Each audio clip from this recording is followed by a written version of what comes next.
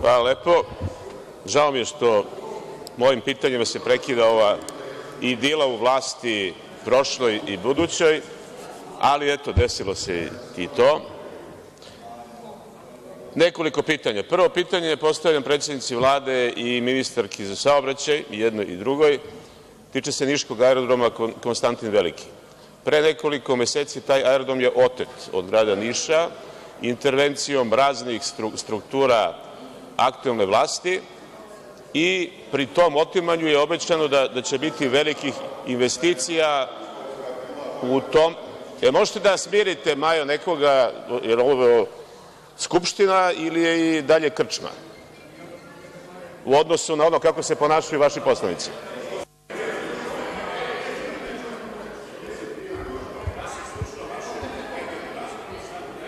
Moja nije rasprava, ja štitim dostojanstvo ovog parlamenta i dosta mi ne, ne, ja štitim dostojanstvo ovog parlamenta. Dosta mi je da čitam naslovne stranice novina gde neko orkestrirano napada ovaj parlament.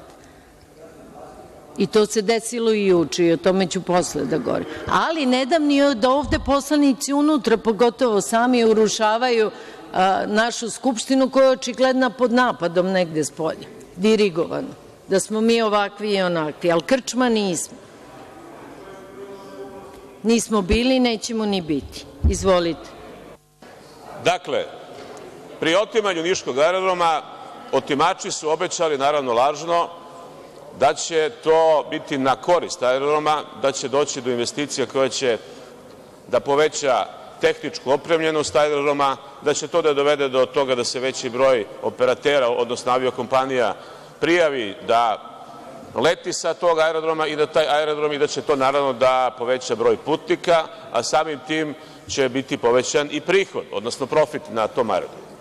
U poslednjih nekoliko meseci, od kad je otimačina potpisana formalno, došlo je do toga da je nekoliko kompanija ili odustalo od letova sa niškog aerodroma ili je smanjilo broj letova za niški i sa niškog aerodroma, i Ryanair i Wizz Air i mnogi drugi, da su neke najave otvaranja novih linija i novih letova otkazane i očigledno je, a to se vidi i golim okom u Nišu, da je aerodrom osuđen na propast i da se dramatično smanjuje broj letova i broj putnika, a samim tim i profit, što je dovelo do toga da, zamislite, tamo nema uslova za postojanje ni jedinog bifea, kafane, kafića, šta li je to već na tom aerodromu, pa je i to zatvoreno zato što nema dovoljno putnika.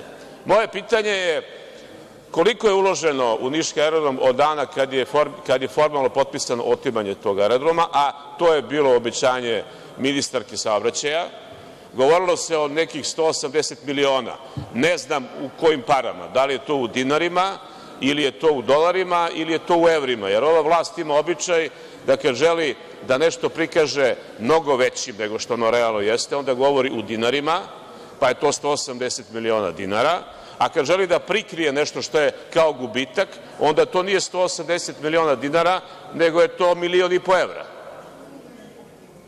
Nadam se da je investicija u nekoj normalnoj valuti. Pitanje je isto šta je sa beogradskim aerodromom, odnosno ugovor o koncesiji sa jednom francuskom firmom. Bile su velike najave od iste ministarke, a i celog hora iz vlasti, da će ugovor biti poznat javnosti do kraja oktobra meseca, od toga nema ništa, da će investicija biti plaćena, odnosno cena koncesije biti plaćena do kraja oktobra meseca, pa to nije plaćeno, ako se dobro sećam, tu je cifra bila 400 miliona, ovog puta evra. Šta se sa tim dešava? Ako imamo i činjenicu o tome da je ista francuska firma koncesionar i prištinskog aerodroma, da li su onda, to je pitanje i za ministra inostranih poslova i za ministra unutrašnjih poslova, da li je to deo neke zavere koja je upućena protiv nacionalnih i državnih interesa Srbije i njenih građana? Neki crni trougao niškog, beogradskog i prištinskog aerodroma, gde se otimaju neki, neki se prodaju za velike pare, ali te pare nikad nisu plaćene i vrši se očigledno prelivanje putnika sa jednog aerodroma na drugi. Drugo pitanje je vezano za Telekom Srbije. Svedoci smo vesti u medijima da je Telekom uzeo kredit ovih dana i u nameri da kupi neke kablovske operatere i neke medije, pa je izašla i vest da je kupljen niški operater „Kopernikus“, kablovska televizija, kažu drugi po veličini u Srbiji, koji je, da srpska javnost to zna, u vlasništvu predsednika regionalnog ili tako nekakvog okružnog odbora, zamislite koje partije, pa SNS-a naravno, za taj kraj. To teško može da bude slučajno. Moje pitanje opet ministarki saobraćaja, ali i ministru kulture i informisanja, zašto postoji potreba da jedno par ekselans državno preduzeće, javno preduzeće, Telekom Srbija, postane monopolista u delu informisanja, bilo da su u pitanju kablovski kanali, bilo da su u pitanju neki mediji, govori se o kupovini nekih novina, nekih televizija i još nekih subjekata medija, zašto je za to moralo da se uzme kredit i u kom iznosu?